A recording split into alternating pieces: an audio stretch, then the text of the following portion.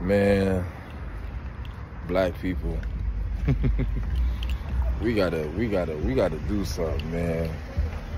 How is it that we can take two minutes out of our day to get locked up for 20 years, but we can't take two years out of our life to figure out how to be rich for the next 20 years? But we sit here and we complain that white people in other cultures and other races have unity and they get rich in our neighborhoods. But we live in our neighborhoods for so long and don't know how to knock on each other's doors and put 5, 10, 20, 30, 40, 50 dollars together to change our neighborhood. But we always complaining. We got more complaints than compliments and this shit is horrible. It's sad that we literally sit back and we find any and every excuse on why we can't come together. You hear that word can't? We find any and every excuse on why it's got to be something negative. But we ain't got not one excuse on why we should do something positive to change our future. We got kids out here who living in the same struggle that 80 year olds was living in. And we cool with that. What the hell is wrong with black people?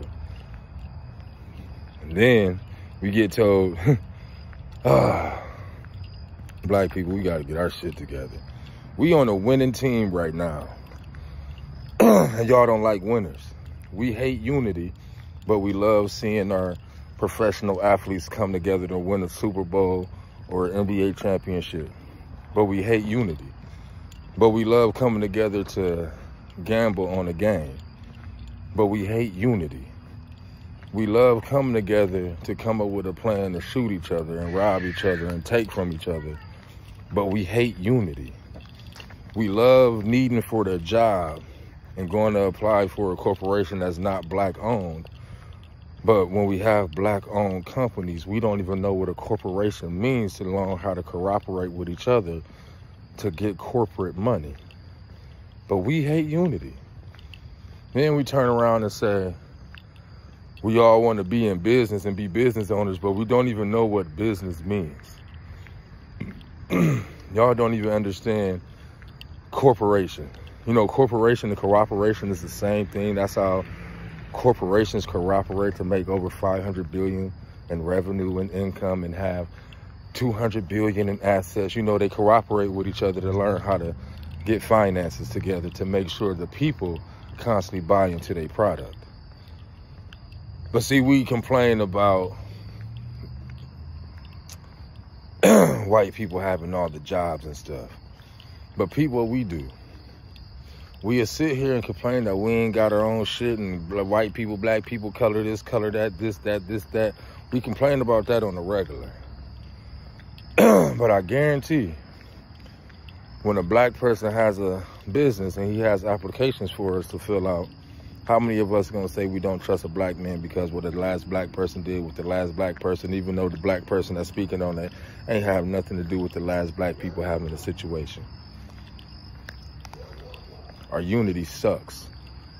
but as a black person, I can't say that to my fellow black people because black people are going to get offended because y'all going to say I'm supporting somebody else. We so fucked up in the head and so confused, it's sad.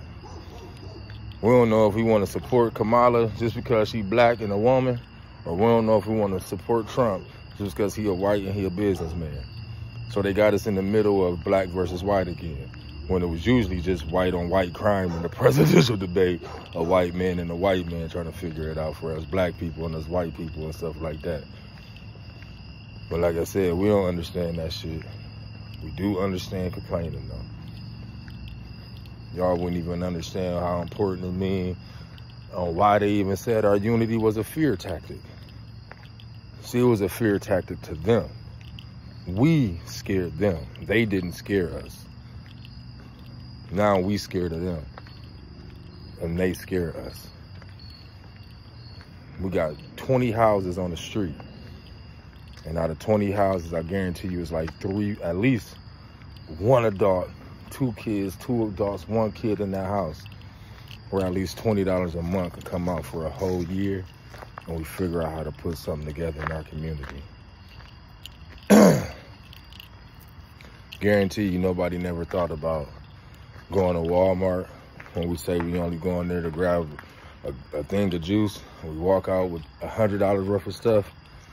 Did anybody ever think about just grabbing an extra football, extra basketball, extra set of gloves, you know, extra pair of socks and just donate?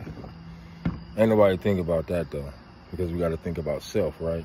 So if we think about self, that means we ain't thinking about the next person because even if the next person look like self, we ain't worried about them because it ain't us. Even though we look alike, smell alike, talk alike, walk alike, want the same things and all that. But since it ain't us, that it ain't self, we ain't worried about it, right? That's the type of mind frame we in. we can function off a negative attitude, but we cannot buy food and function off a negative bank account. So why are we moving off negative attitudes? Why are we moving off negative anything? If we know we cannot go to the store and spend a card that has a negative thousand dollars, a negative hundred dollars, how are we going to be spending our riches in the inside if our inside is always negative? Like how? like right now, where we where the state of mind we in, we literally is in white man versus black woman. And if black men and black women do not support black women, then we don't support each other and we don't have unity.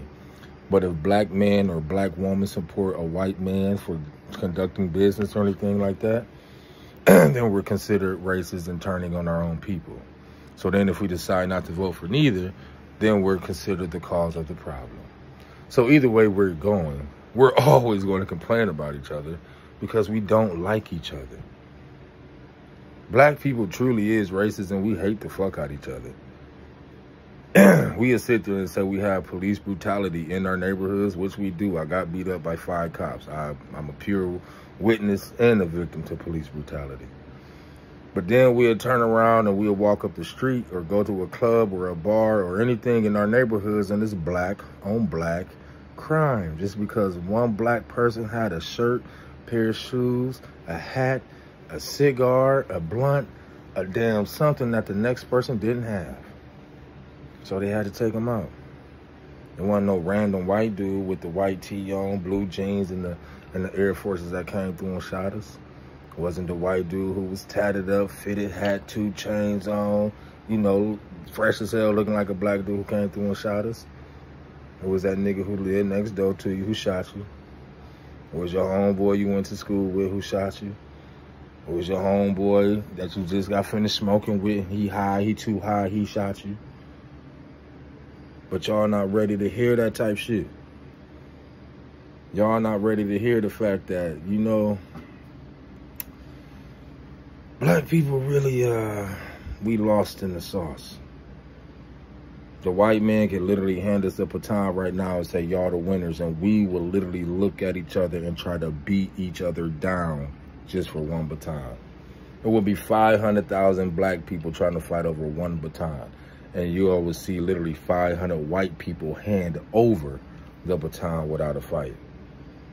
This is how we is. Right? because we don't see no real change in us. How I'm 36 looking for a future, my son's 16 looking for a future, but then I got 60, 70, 80 year olds, sick 40 year olds that tell us it ain't gonna happen. So you shoot our future dreams down just by telling us it ain't gonna happen. I don't see change coming. Well, I do, and my son do, and my daughters do.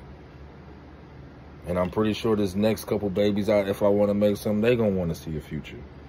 I'm pretty sure y'all got nieces and nephews, cousins, brothers, aunties. They want to see a future.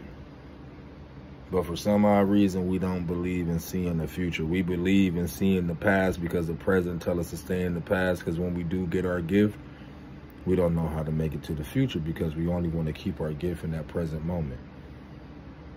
Your gift is a present moment for that present moment to constantly give back your gift so your blessing can always become abundant and better.